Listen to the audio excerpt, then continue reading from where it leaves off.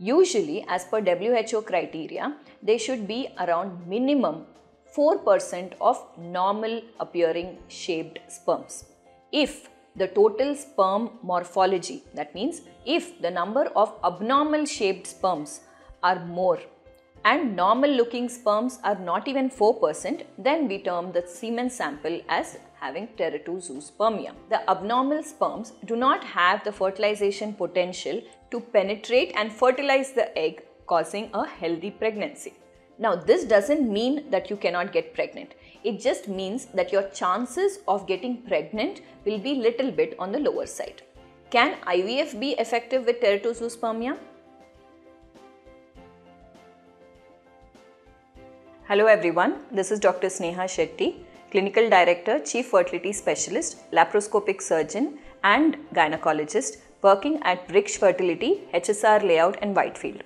Teratozoospermia. What is this? Teratozoospermia refers to an abnormal shape of your sperms. Usually, as per WHO criteria, they should be around minimum 4% of normal appearing shaped sperms.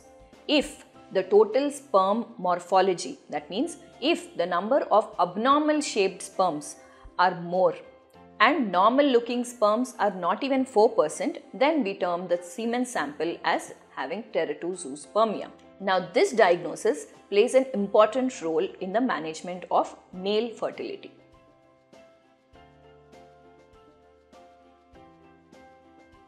Does teratozoospermia affect the fertility? Yes, Teratozoospermia sperms, that means the abnormal sperms, do not have the fertilization potential to penetrate and fertilize the egg, causing a healthy pregnancy.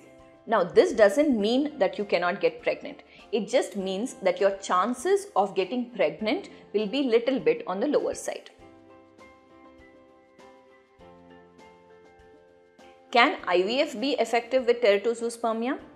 Yes, IVF is a very good solution for teratozoospermia patients.